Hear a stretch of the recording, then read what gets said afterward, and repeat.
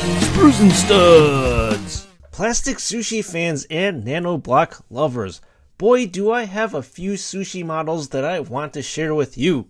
This is Sprues and Studs, and we are going to be doing our first foray out of the comfortable confines of Legoland. I'll have to preface this video by saying that I was pretty frustrated when I was building these four pieces of sushi because, well, the instructions are complete crap, the pieces are so damn tiny, and some of the bricks just do not fit together in a conventional way like how LEGO builds their models.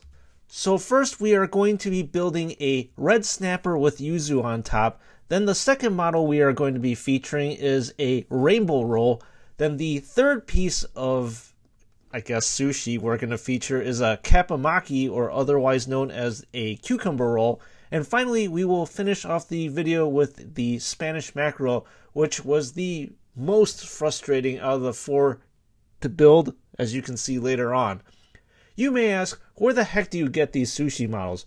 Well, unfortunately, they are not offered anymore at the Kaiten Sushi restaurant that I like to go eat. So, what the heck is Kaiten Sushi?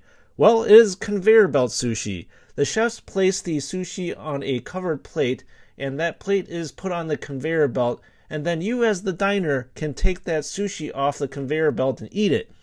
These places usually charge per plate, and they will serve a multitude of different nigiri, which is rice with raw fish on top, or different kinds of rolls. This particular restaurant, whenever you eat 15 plates of sushi, they will dispense a free prize. And in this case, the prizes are plastic versions of the sushi they serve, which I think is pretty cool.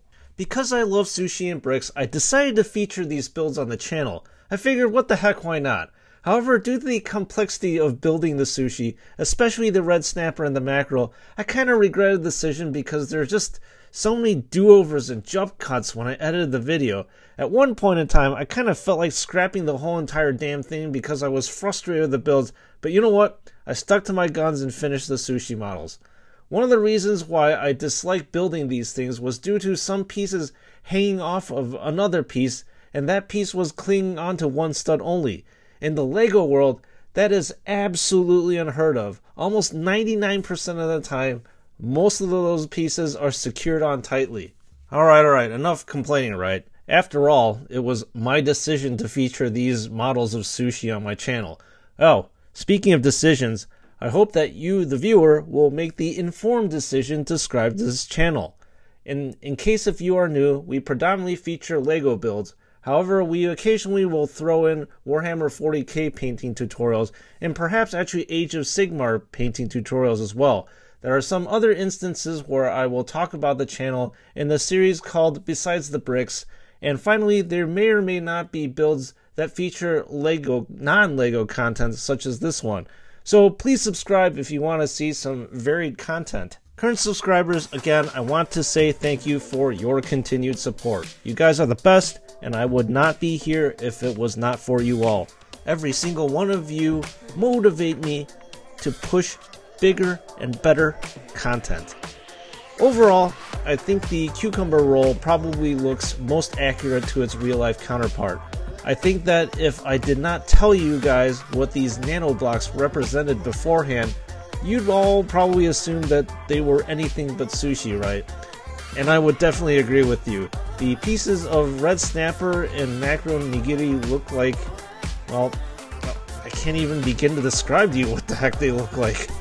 Um, I suppose this is another reason why LEGO is so dominant in the brick building brands. It's just awesome because when you look at a LEGO build, you immediately know what it represents.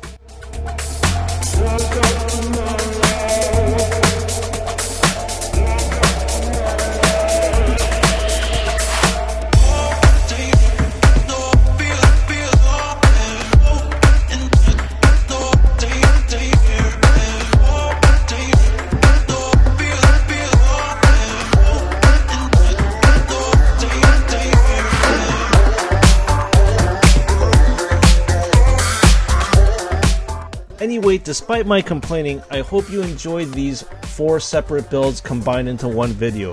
Please let me know in the comments section if you want to see more non-LEGO type builds such as this one on the channel.